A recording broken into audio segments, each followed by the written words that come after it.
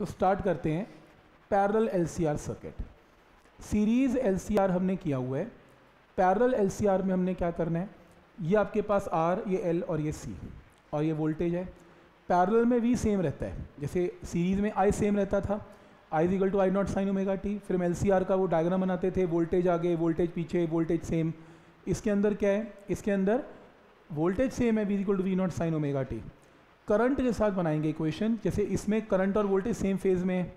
Inductor में voltage आ गया current पीछे है और कैपेसिटर में करंट आ गया है वोल्टेज पीछे है। तो हम क्या करेंगे?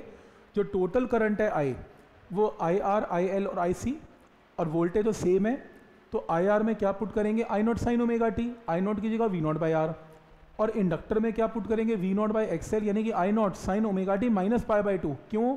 क्योंकि voltage V is equal to V nought sine omega T inductor के अंदर जो करंट है, वो पीछे होता है तो इसलिए माइनस पाई बाई टू और कैपेसिटर में करंट आगे होता है। तो वी नॉट बाई एक्सी और यहाँ पर कितना?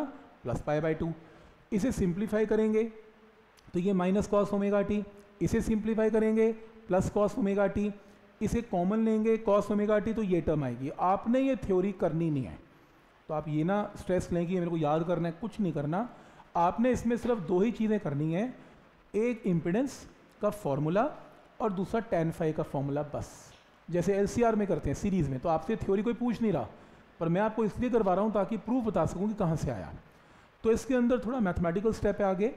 ये जो भी टर्म है वी नॉट बाई आर इसको इमेजिन कर लेते हैं आई नॉट साइन फाइव और इसको इमेजिन कर लेते हैं आई नॉट कॉस फाइव तो जब मैं यहाँ पर इसकी जगह आई नॉट साइन फाइव इसकी जगह I nought cos phi I nought common तो मैथ्स में sine A sine B cos A cos B sine of cos of A minus B तो यहाँ से कुछ नहीं करना। अब आपने दो इक्वेशन जो एज्यूम की, इन्हें डिवाइड कर लें।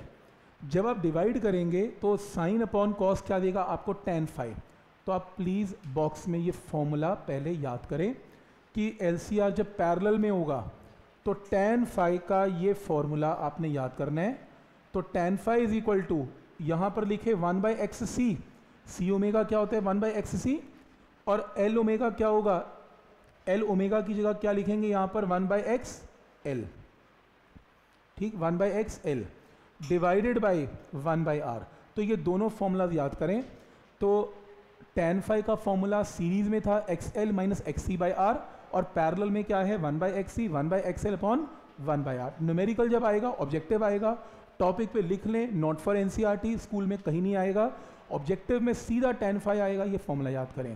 प्रूफ नॉट रिक्वायर्ड समझ में आ रहा है यहाँ तक? ठीक प्रूफ की ज़रूरत नहीं है टेन फाइव याद हो गया। अब आपको इस सर्किट की क्या निकालनी है? इम्पिडेंस में निकालनी है। तो आपने क्या करना है इसमें? Equation number one and two को स्क्वेयरिंग एंड एडिंग कर दें। जब आप स्क्वेयरिंग एंड एडिंग करेंगे सिंप्लीफाई करेंगे, और सिंप्लीफाई करेंगे, और सिंप्लीफाई करेंगे, करना आपने कुछ नहीं है। तो फाइनली आप प्लीज़ इम्पिडेंस का ये फॉर्मूला याद करें।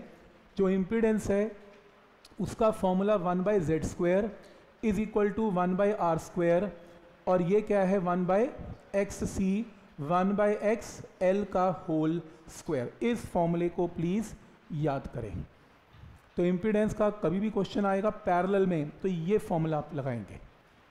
ठीक है? प्रूफ की ज़रूरत नहीं है। मैंने आइडिया दे दिया आपको स्क्वेयरिंग एडिंग पर प्रूफ चाहिए नहीं होता। आपको सीधा न्यूमेरिकल ही ट्राई करना है। न्यूमेरिकल आएगा ऑब्जेक्टिव में।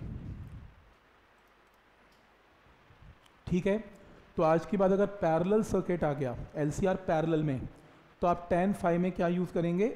पहले वाला फॉर्मूला और वन बाई जेड में ये फॉर्मूला क्लियर हो गया? कल को अगर एल सी आर पैरल में है और सी गायब है सी है ही नहीं तो कोई बात नहीं, हटा देंगे इससे एल नहीं है तो हटा देंगे. आर नहीं है तो ये हटा देंगे. तो इम्पिडेंस का formula L C R parallel में कैसे काम करेगा? ये इसका आंसर है. तो पहला पॉइंट हो गया क्लियर